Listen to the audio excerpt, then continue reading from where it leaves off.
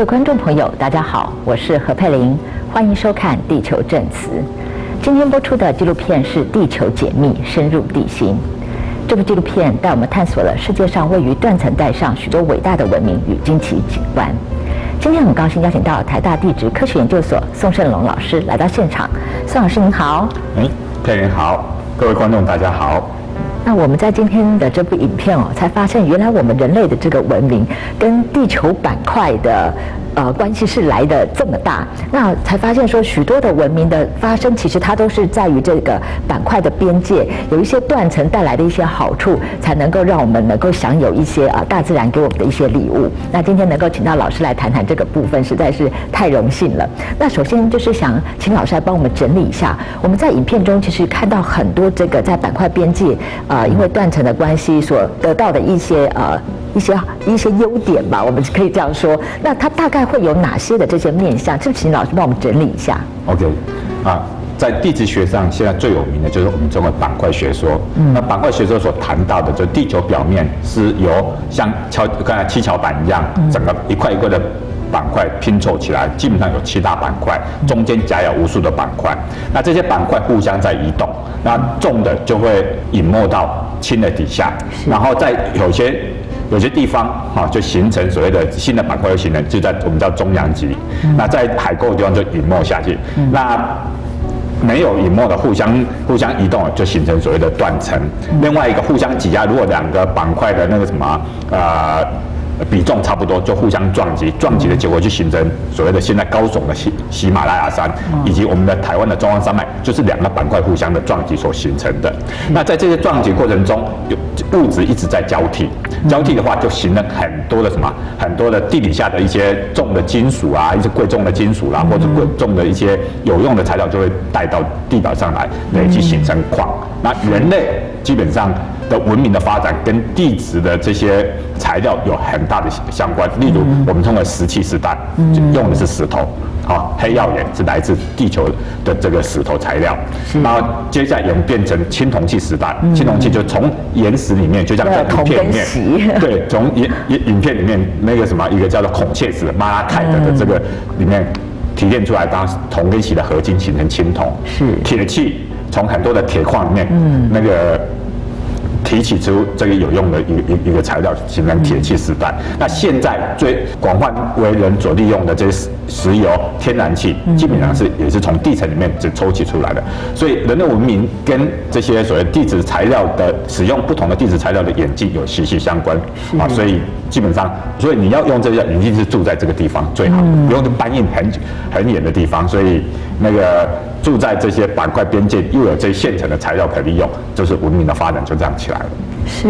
而且以前我们在啊观察这个文明的起源哦，我们都会用水来当做很重要的这个观察。今天真的让我们从另外一个角度，从板块的角度来做观察，实在是一个很好的一个切入点。嗯那在影片中，它就是有介绍到，就像沙漠这个地方，要有水源非常的困难。对。那大部分的沙漠水源大概都是地下水。那这个地下水，它一定要透过断层的方式。才有办法让我们人类可以在呃比较容易使用到吗？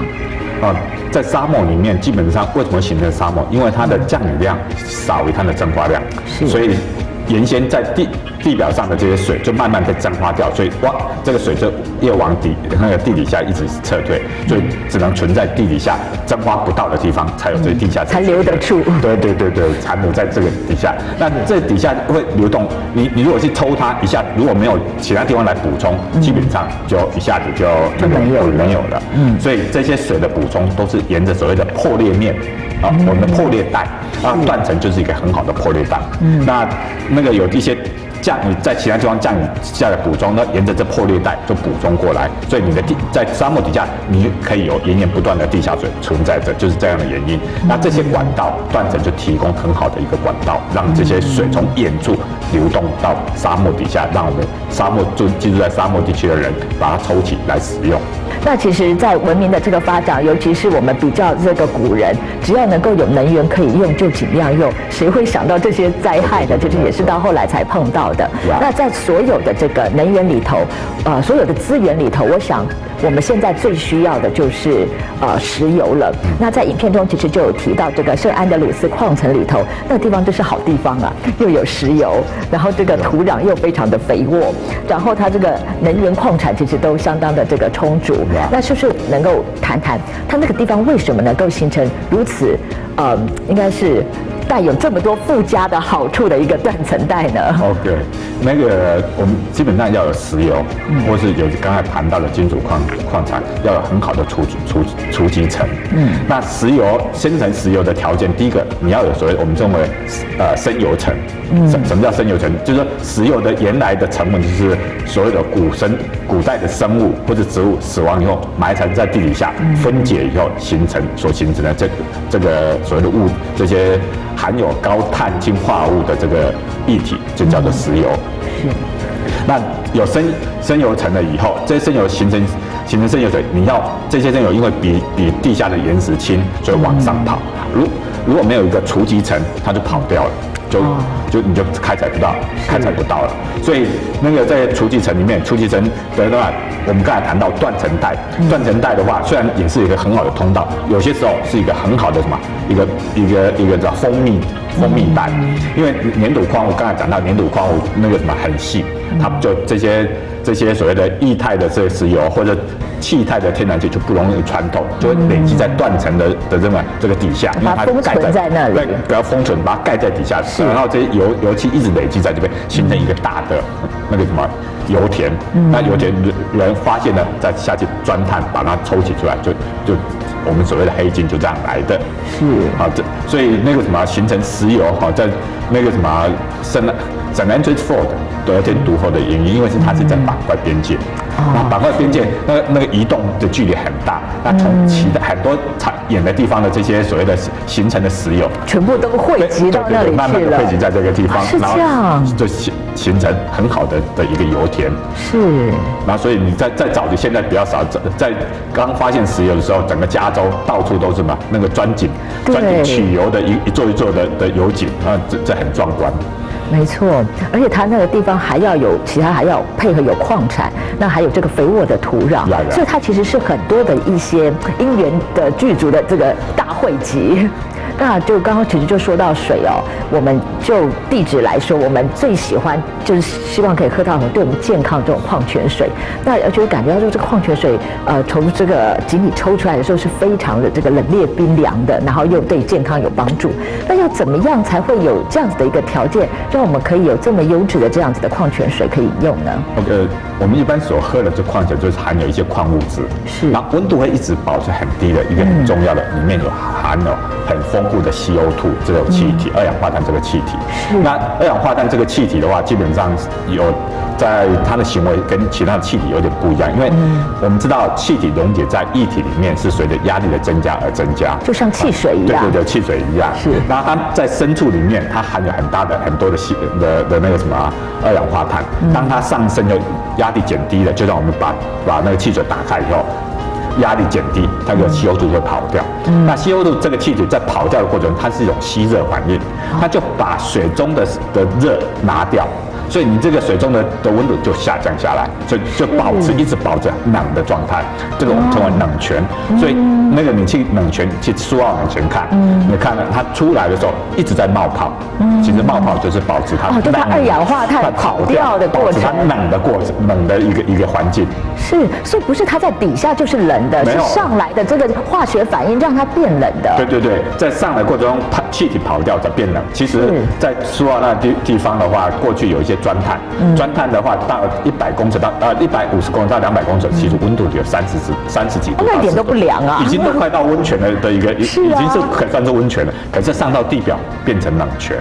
保持二十度，就是气 o 度跑掉，吸热反应把整个水的温度下降的结果。所以其实这个温泉跟冷泉，它在形成上头的这个概念是完全不同的。呃，没有没有说温泉只是给它热就可可以了，可是冷泉要吸 o 度跑掉。那另外在呃影片中，我看到一个很有趣的现象啊，就是他有提到说这个呃。海底火山这个热点它是会漂移的。对那我们就在影片中就看到的，哎，好像这个火山就慢慢慢慢的移走，然后一座一座小岛的就就冒出来。那我们光看这个影像不是太能够理解，那请不请宋老师帮我们解释一下？OK，这就跟跟刚才所谈论的板块运动有很大的关系。那我们一般在地质上所定义的板块是地球表面一百五十公里里的厚的，包括地壳跟部分的地寒的物质所组成一百五十公里。那底下是我们称为暖流圈，暖流圈是可能更高的温度。那在这个热点的这个地方的火山，它的岩浆库基本上火山就是要岩浆喷到地表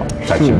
能形成火山。那在热点这个地方的岩浆库是在这个板块哈，这个一百五十公的板块的下沿，嗯，那岩浆一直在这这个地方，然后它有机会就扑跑到地表上。喷发形成一座火山，可是你板块移动移开以后，这座火山就往前移动。那这下一次火山喷发再上来的时候，它又形成一座火山，是又往前移动，所以一座一座火山的的这样排列起来。所以你把太平洋的水抽干，是你就可以看从从阿留申群岛有一个突出去的那有海底有一系列的一个岛屿，我们叫做做帝王列岛。嗯，帝王列岛到到中间大概中间有一个转折的地方，北这个本来是北北西的方向，转成西北的方向，这个我们叫做夏威夷群岛啊，夏威夷群岛。那整个就一系列的很线性的一个排列，都是热点和板块运动加上热点然后岩浆作用所形成的，相当壮观。那这个持续了一亿年了。哇，而且听起来很有趣，它好像就这个板块运动就好像是一个输送带一样，然后热点就是一个火山一个火山的制造，对对对然后就是板块运动一直走，然后一个一个一个列岛就形成。对，没有错。是，那其实就我们看，我们台湾跟日本其实也是一系列这样子的一个岛屿，那我们都是在这个板块交接的地方。那是不是请老师来跟我们提醒一下哦？我们因为这个板块运动啊、那因为这些断层，我们台湾享有哪些好处呢？基本上那个什么那个台湾这个板台湾为板板块边界，然后有一些火山活动，然后一些火山活动的话，基本上我们知道。台湾北部最有名的金瓜石，过去产了大量的金矿，当然还有一些铜矿，基本上是所谓的这个板块边界的一个好处所获得的。可是，在板块边界也有一些坏处。哦，另外谈到另外一个谈到好处要强调的，台湾的的那个什么啊中央山脉为什么会那那个呃高山峻岭这么壮观？嗯，也是因为板块边界的互相碰撞、快速融升所造成的一个结果。嗯，啊，这是那个什么啊台湾位落在坐落在那个什么板块边界的一个好处，还有很大量的这些温泉，嗯，啊供供所谓的那个呃泡泡汤之用，这些都是还有一些地热的这个运用的一些想象空间。呀呀呀，板块边界所提供的好处。是，而且也是因多亏了我们这个中央山脉有这么高的这个高山，让我们在物种上面可以非常的多样化哇。，没有错，那个那个那个什么，依照植物学的动物的一个研究，那个中央山脉的东边跟西边物种完全不一样，就是因为这个山脉的的的一个阻隔，造成他们没办法交流，所以整个物种的的一个演变多样化，就是因为有这个山脉的存在。那另外我们在影片中哦有提到这个在西洋历史上非常著名的几个城市，像是约旦的这个佩托拉城、呃耶利哥城，还有这个曼诺安文明，那都是在当时是盛极一时的文明。那也是因为这个呃断层带的好处，让它发展起来。同样，它的灭亡也是因为断层带上面刚刚老师特别提醒的这个风险。那以这个地质学家的角色哦，我们在看待这些文明的新面，你觉得我们应该用什么眼光来去看它呢？一般我们人都常常有一个很自傲的、很骄傲的说，我们人定胜天。嗯，其实哈、你人定胜天只是一时的，是。最终老天爷还是会把你拿回去，因为毕竟自然的力量实在太大了，那个人不可能去 over all 的把所有的的根本无法与之抗衡啊的。对对对对，没有办法，就像那个什么一个地震，你不可能去阻止它发生，可是它就会发生，造成你整个文明的毁灭，或者一个火山，它就喷发了，你你你真的拿它没办法拿它没办法，只能逃对对对对对。那其实像是有一些文明，它虽然呃历经了这些可能是大自然的考验，它有机会再重建起来，可是真的有一些就没有办法去再去做重建了。那它最关键的因素是什么呢？我想重建能能不能重建，很重要的就是当时的科技，当时的、的一个一个啊环境条件。就像以现在而言的话，那个我们像我们的台吉吉大地震，或者是那个二零一一年的日本东北大地震这些等等。因为现在的那个科技无的科技相当的进步，然后这些废墟。自可能这些房屋倒塌相当多的这废墟，我们在有很好的的的的那这个清除工具，啊，那个怪手啊什么这些，可以把这些呃那个什么我们叫 debris，就是这些晦气的这些瓦砾，怎么搬走？啊，搬走以后才重新开在这边重建起来。嗯，可是，在古老的的一个一个条件里面，它都要用人手。这么大量的这些这些那个对瓦砾堆积下，你很难去处理。那如果你真的要硬硬去处理的话，你所花费的人力、物力、财力，倒不如你再重新找一个地方去建造一个比较快。对，所以我想，能不能重建，这是当时的什么？这这些呃善后的能力而而而定，而不是跟其他我想跟其他其他的这些想法什么没什么关系。是，那其实说到这一点，刚刚老师又特别有提到我们九二一的大地震。那我们台湾在断层带上，我想地震啊，这个是我们永远无法摆脱的宿命。对，那面对这样子的一个环境，我们有没有有哪一些风险是我们平常一般的这个民众比较没有意识到的？那除了地震以外，那可是对地质学家觉得说，其实这件事很重要，你们大家应该放在心里。对，没有错，就是说地震基本上是在台湾，就看主任讲的。是不可避免的一个宿命。一般民众要有一个意识，就是说，你家要考虑到，就是说，有地震来，你家的抗震能力，你家的房子抗震能力够不够？是。那这是一个。另外一个，其实我们应该呼吁的，就是说，民众应该随时有一些，因为我们处于地震带，随时都要所谓的地震救命包的这个概念存在，在家里放一个，啊，每半年去整理一个救命包，因为就就是。我们在很多过去的这些经验里面，尤其九二年的经验里面，那当房子哈倒塌，当人陷在里面的时候，可是你如果说能支撑一段时间，嗯，啊，有一些有一些简单的这些工具啊，有简单的食物啊，可以让你。那个什么持续，把那个黄金时间拉长一点，不是七十二小时，拉长在一个礼拜，你被救援的机会就增增增加很多。啊，这是我们要必须要有一个一一个一个概念啊，就是说对防震这方面，除了屋子这些桥梁这些防震的，自己本身应该在家里放一些救命包，会对会对于那个你的那个获救的几率，万一发生了获救的几率会高出很多。是，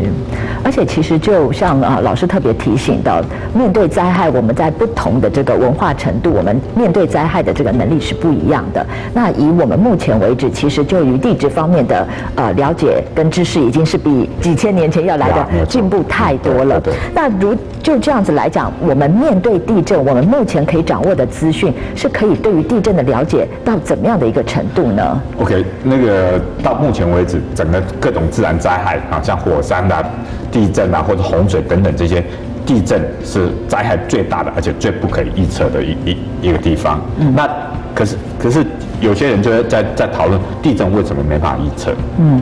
其实严格说来，它部分可以预测到部分，嗯，不是完全都不了解。嗯，举个例子，我们知道啊，地震可能有很多原因所发生地震，可是危害最大的就是断层移动所产生的地震。是。那断层，我们基本上如果在以台湾为例的话，我们就可以在台湾去调查哪些地方是活断层的地方。嗯。那潜在性这个地震就会发生在这个地方，所以地点有了。嗯。所以呃，我应该应该前面要交代一下，就是说我们在做地震预测的时候，要知道。一个地震何时、何地以及规模大小这三个三个变数里面，我们要去对它做预测。所以现在我们核地已经可以确定了。核地你只要有头段层，你把它整整个好好的描绘出来，那核地你大概就可以知道。那规模呢？其实也可以，因为规模的话，就是有一个经验公式可以告诉我们说，这个断层多长会发生多大的地震。哦，所以我们只要调查说这个断层的长度，然后带入那个经验公式，你大概可以预测这个地方如果万一动的时候，它会多严重？多严重？多多大多多大规模的地震？唯一不可。那个什么预测的就是时间，是这个时间有长短，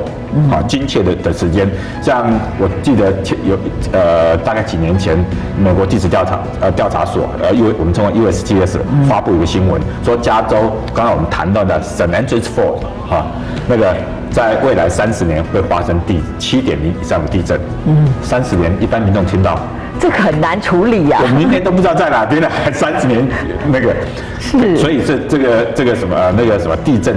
它三十年，可是这个在地震学里面，好地震的预测里面是一个很大的突破，嗯，所以我们就会谈论到，如果要真的要预测一个地震，就要看这个当地的容忍的程度。嗯，我们以九二一的而言的话，在那个什么我们的中部四县市大概四百万人，是。你要要求这个四百万人，我说告诉你，可能说这个礼拜三天内有地震会发生，嗯，那一般民众 OK 三天而已，那我就可以暂时出去度个假，离开一下，那三天后再回来，嗯，可是万一说 OK，你告诉我一个礼拜。就有点难处理了。对，一个月更难的，所以时间的精准度就是就影响到啊这个这个所谓防灾应变的方式。对对对，所以在地震的预测方面，最难的就是时间。其实，在什么地方、何地，都规模大小，基本上还可以部分的掌握，可是时间是没办法掌握，也就是造成我们地震很难去预防的一个原因。在影片的最后啊，有提到就是分隔呃欧洲跟亚洲的这个博斯普鲁斯海峡，那他们希望在这底下建造一条最长的海底隧道。那工程人员信心满满的说，这个绝对可以去避免，可以防震啊，然后可以避免所有的呃这些天然的这些灾害。那老师以你自己长期观察地质，对呃这个地质的学习，对于我们人类这样子的野心跟信心，您自己的看法是什么？呃，建造这么长的一个隧道，那当然，如果说你不计成本的，嗯，啊，不计成本的去去把它建造，当当然是稍微安全是没什么问题。可是，因为一个很重要的关的的问题说，你在建造这个隧道的过程，你不能穿过活动断层。哦，你一穿过活动段，万一这个活动断一一撕裂，那你你你这个隧道就就破坏掉了啊，这是一个。另另外一个就是说，OK，那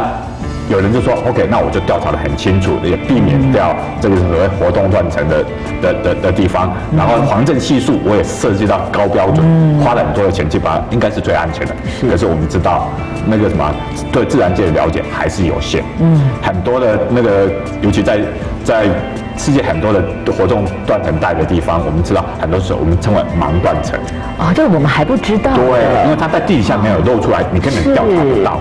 啊，那调查不到这个盲断层，那万一哪天你刚好你认为说哦地表这些或是你所掌握的都没有活动断层通过，那万一底下有个盲断层哪天活动了，这个还是毁掉的。所以这个基本上建造这样一个隧道是很有野心的，也也可以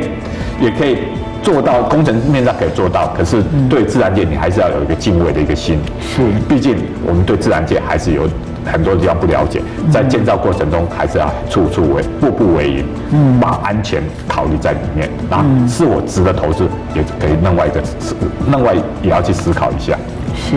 那今天真的非常感谢老师来跟我们分享哦。真的，我们在今天这个透过纪录片，把我们的文明跟这个断层去做一个连接，我们才知道，其实我们人类的文明跟这个地质实在是息息相关呢。没有错。而且这个息息相关给我们的好处的同时，其实更重要是我们要如何去考虑到这个风险，要不然我们的文明可能就会在我们对于自己太过信心，对于这个工程的能力太过依赖的时候。忽略了这样子的这个风险，这个对于我们这个文明的保存都是相当大的这个灾害的。所以敬天爱地，又一个敬畏的心，才是面对大自然最正确的态度。啊，没有错。是，那感谢老师，感恩。嗯。也感谢各位观众朋友的收看，希望下次同一时间继续收看《地球证词》，感恩。